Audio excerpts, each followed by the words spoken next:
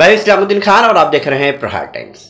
आपको बता दें कि मुमरा बाईपास से लगकर गाँव देवी इलाका है और वहाँ पर जाने के लिए जो रास्ता बनाया जा रहा है, उसका कॉन्क्रीटीकरण जो है, किया जा रहा है। दरअसल, दो दिन पहले ही पूर्व नगर सेवक जो है राजन दादा की ने ये वहाँ का विज़िट किए थे, दौरा किए थे और उन्होंने वहाँ पर जो है उस रोड के निर्माण को लेकर जो जब शुरू हुआ था वो रास्ता, उसको लेकर कुछ जानकारियाँ दी थी कि कैसे कैसे इस रोड को जो है बनाया गया था। लेकिन उसके बारे में ऑब्जेक्शन जो है उठाया है।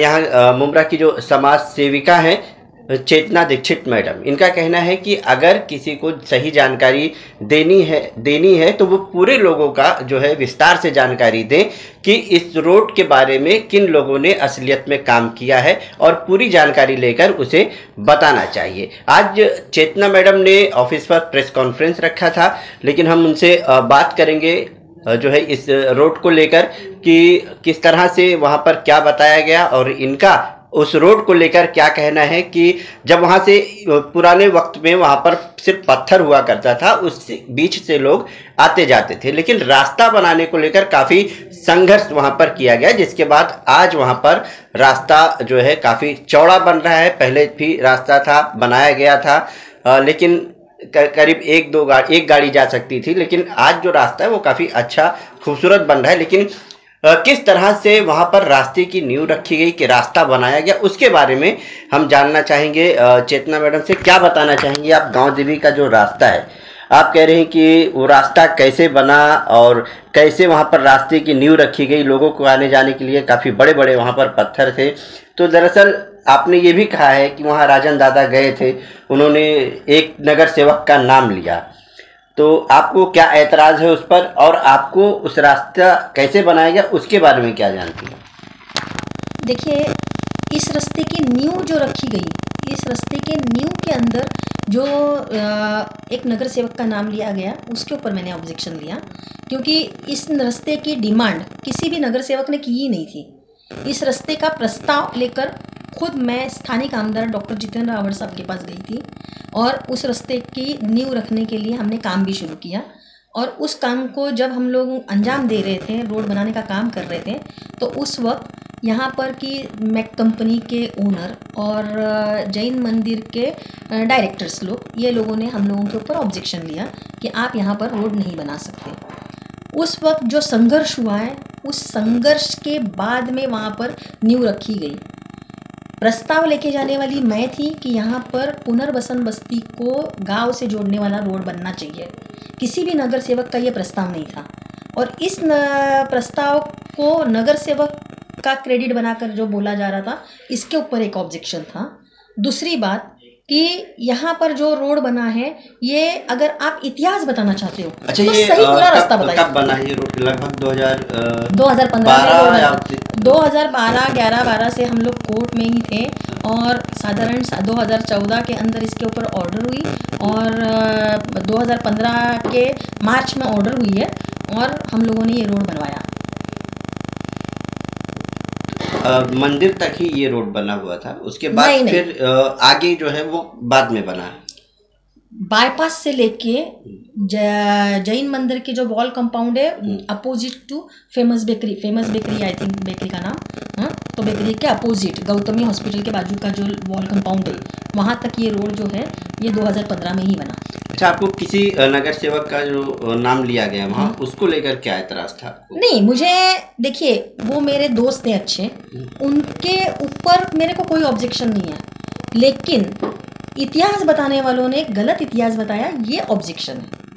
ऑब्जेक्शन ये था कि अगर आप स्थानिक बॉडी वालों को अगर क्रेडिट देना चाहते हो तो उस वक्त पैनल था।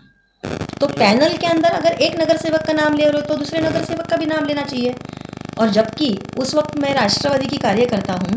राष्ट्रवादी के कार्यकर्ता के हिसाब से मैंने ये प्रस्ताव को मेरे राष्ट्रवादी के स्थानिक आमदार के पास लेकर गई। जब राष्ट्रवादी के स्थानिक कार्यकर्ता ने साढ़े तीन साल कोर्ट में लड़ा, राष्ट्रवादी के आमदार निधि से अगर ये रोड बना है तो आप क्रेडिट राष्ट्रवादी की एक नगर सेविका भी थी हाँ? तो अगर नगर सेवक को ही क्रेडिट देना चाहते हो तो पैनल की एक नगर सेवक को भी छोड़ा। उनका नाम लिया इसके बारे में नहीं है। अगर नगर सेवक का पैनल के नगर सेवक का नाम लेना ज़रूरी था हाँ तो एक नगर सेविका को छोड़ने की ज़रूरत नहीं थी। अच्छा उस रास्ते को लेकर आप लोग जो कोर्ट में गए थे मेक कंपनी ने भी ऑब्जेक्शन लिया था बहरहाल वो राज़ी हो गए थे लेकिन जो मंदिर ट्रस्ट के लोग हैं वो लोग राज़ी नहीं होते तो ज़मीन का क्या मसला था? क्या कोर्ट में डिसीज़न हुआ था? उसके बाद रास्ता बनाने को हाँ। एक्चुअली जब जैन मंदिर वालों ने ऑब्जेक्शन लिया तो जैन मंदिर की खुद की जो वहाँ की मालकी है, ये एक लीजी मालकी है। यानी वो लोग वहाँ खुद गवर्नमेंट के भाड़े करू थे। उनको नब नवानवे साल के लिए करार पर ज़मीन दी गई थी शर्तों के ऊपर। लेकिन जो भी कलेक्टर ने उनको जब ये लैंड जैन मंदिर के यूटिलाइजेशन के लिए दी थी, तब जो भी शर्तें थी, उसको इन्होंने भंग की।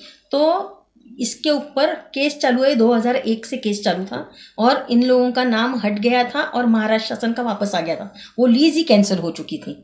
तो महाराष्ट्र शासन की ज़मीन है, लेकिन ये लोग खुद का पोजीशन लेकर बैठे हैं। ये लोग खुद हमारी ही मालकी है, हम ही करेंगे यहाँ पर। हम लोग यहाँ पे किसी को कुछ करने नहीं देंगे। ये एक्चुअली देखा जाए तो एक प्रकार की जैन मंदिर के लोगों की एक्सेप्ट करने को नहीं तैयार थे कि भाई हमारा लीज कैंसिल हो चुका है। अच्छा उस वक्त कुछ रास्ता भी बंद किया गया था दीवार बना। कर था।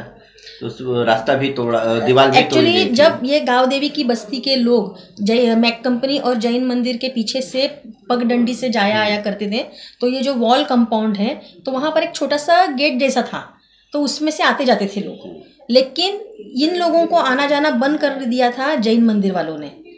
तो जब हम लोगों को ये मालूम पड़ा कि ये जगह अभी जैन मंदिर की है ही नहीं, इन्होंने, मैंने ब्रिज किया है कंडीशंस को तो हम लोगों ने खुद, मैं खुद खड़ी थी, गाँव देवी के बस्ती के लोग थे, और अज़ीज़ बाटा जो नगर से, मैंने बड़े कार्यकर्ता थे यहाँ के राष्ट्रवादी के, उनके सामने हम लोगों ने खुद वो दीवार को तोड़ा। और वापस पगडंडी खुली करके दी लोगों को कि जब तक रोड नहीं बनता है तो एटलीस्ट कम से कम पगडंडी तो चालू रहे। अच्छा कोर्ट में केस था ये केस किसने लड़ा और जो रोड था वो किसके निधि से बनाया गया था? कोर्ट के अंदर जो केस था ये केस मैं खुद तीन साढ़े तीन साल रोज कोर्ट मैंने रोज मीन द सेंस जब डेट पड़ती थी तब मैं खुद जाती थी। हाँ वहाँ पर मैं पिटिशनर हूँ आप देख सकते हो इसके अंदर ये हमारा पिटिशन है और कोर्ट के अंदर मैं गई हूँ यहाँ पर मेरा नाम है कोर्ट के साथ में, मैंने संघर्ष किया है।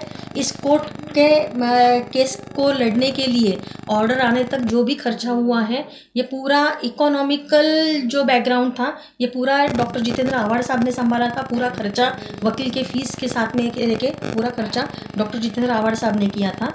जब ये रोड के ऊपर का जैन मंदिर का ऑब्जेक्शन डिसमिस हो गया कोर्ट में फिर बाद में उस रोड के लिए निधि भी डॉक्टर जितेंद्र आवाड़ साहब के आमदार निधि से आया और वो रोड बना ठीक है आप लोगों ने रास्ते के लिए संघर्ष किया वहाँ पर रास्ते की एक शुरुआत जो है की आप लोगों ने। जैसा भी था ठीक था रास्ता चलता था लेकिन एटलीस्ट बना नींव पड़ी रास्ते हाँ, की नींव पड़ी। अभी जो काम हो रहा है वहाँ पर कंक्रीटीकरण किया जा रहा है और रास्ता भी काफ़ी रुंदीकरण हाँ, चौड़ा किया जा रहा है। तो उसके बारे में आप क्या कहेंगे? ये बड़े खुशी की बात है कि फिर से मैं वही बात दोहराती हूँ कि ये जो खासदार दीदी से उस रोड का जो रुंदीकरण किया जा रहा है इसके बारे में मैं उनको तहे दिल से धन्यवाद दूँगी कि भले आपके दो टर्म्स के अंदर भले आखिरी आखिरी एक साल बचा है आपके टर्म्स को ख़त्म होने के लिए, तभी भले आपका वहाँ पर ध्यान जा रहा है। नो प्रॉब्लम देर आए, दुरुस्त आए, हमारे बस्ती के लोगों को रुंद रास्ता मिलेगा। हमारे बस्ती के लोगों के घरों की वैल्यू बढ़ेगी और वहाँ पर जाने आने के लिए उनको अच्छा एक रास्ता मिलेगा। इसके लिए मैं तहे दिल से उनकी शुक्र गाँव देवी का जो रास्ता है, दरअसल ये शुरू से ही विवादों में था। जैसा कि चेतना मैडम ने बताया, इन्होंने जो है उस रास्ते के लिए जो है कोर्ट में भी गई और काफ़ी खर्च भी हुआ, लेकिन बहरहाल रास्ते की शुरुआत हुई और अब जो है खासदार श्रीकांत सिंधे की निधि से उस रास्ते का जो है चौड़ा करके उसका काम और किया जा रहा है कॉन्क्रीटीकरण किया जा रहा है। आने वाले दिनों में लगभग ये काम पूरा भी हो जाएगा।